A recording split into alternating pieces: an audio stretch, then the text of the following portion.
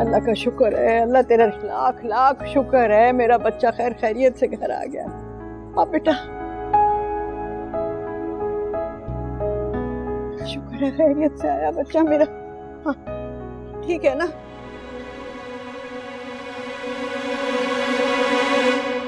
Tense है वो। ज़्यादा सियाना काना बन वो टेंस है तो हम कौन से यहाँ छुरियाँ पटाखे लेकर खड़े हुए हैं? अम्मी खुदा के लिए बस कर दें और शुक्र करें बड़े अब्बा ने बीच में आके मसला हल करवा दिया। यही तो सबसे बड़ा सियापा है हैं? रिश्तेदार क्या सोचेंगे?